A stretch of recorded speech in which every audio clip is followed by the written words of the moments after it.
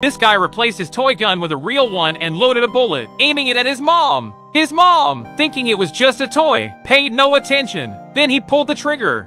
Yes. Luckily, the bullet didn't fire. Then he aimed at a guest. Jackie. His dad told him to go play outside. He went to the mall entrance, preparing to ride the toy horse and play cowboy. Without stopping, he kept pulling the trigger. Just as the next bullet was about to fire, a little girl came and snatched his horse away. The girl's dad chased the boy away. Angry, the boy aimed the gun at him.